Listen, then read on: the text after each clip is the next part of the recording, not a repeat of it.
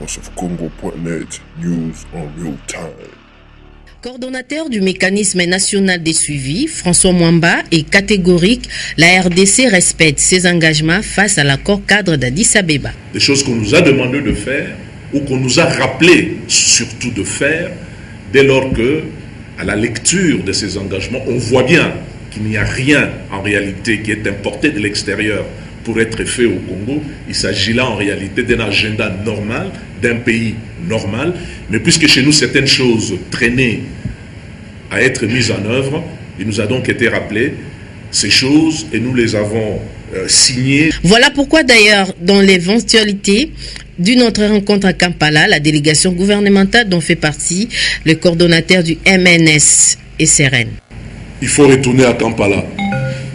Ça voudrait dire peut-être maintenant qu'il y a une troisième mouture, quelque chose que ceux qui nous demandent de retourner à Kampala espèrent que, que ce sera la formule magique qui va résoudre le problème. Je ne sais pas. En ce qui nous concerne, nous, nous aurions aimé effectivement de poursuivre. S'il y a une troisième mouture, quelque chose peut-être de plus acceptable ou d'acceptable, pourquoi on ne nous transmettrait pas ces documents-là? Ce qui est clair, c'est que s'agissant de défendre notre pays, le mot d'ordre lancé par le président de la République, front militaire, front diplomatique, front politique, que personne n'aille espérer nous distraire. Exceptionnellement et sur demande du coordonnateur du MNS, les journalistes ont gardé une minute de silence à la mémoire des Congolais violentés dans l'est du pays.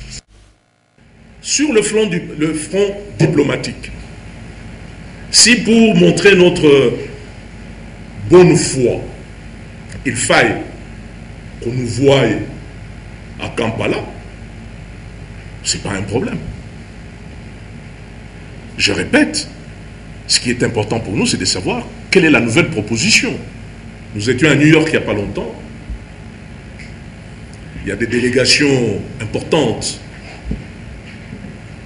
Les envoyés spéciaux qui arrivent dans notre pays. Une idée a germé du genre, euh, bon, puisque l'Ouganda a du mal à trouver la formule magique, n'y aurait-il pas moyen que ces très hauts responsables puissent concourir à aider l'Ouganda à faire une proposition qui tienne la route, quelque chose qui soit acceptable notamment par la République démocratique du Congo? Est-ce que c'est ça L'essentiel pour nous, vous l'avez compris, c'est le contenu.